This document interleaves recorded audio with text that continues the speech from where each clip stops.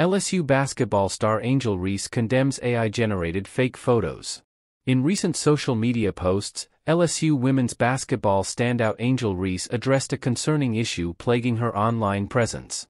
Reese took to social media platform X to denounce the creation of AI-generated fake photos purportedly depicting her.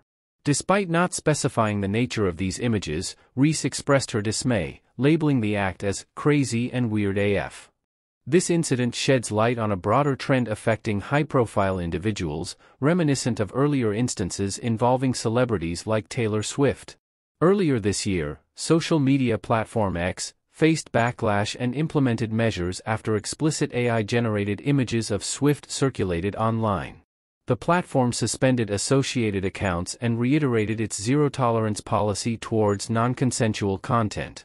The severity of the situation prompted White House Press Secretary Karine Jean-Pierre to label it alarming and call for legislative action from Congress.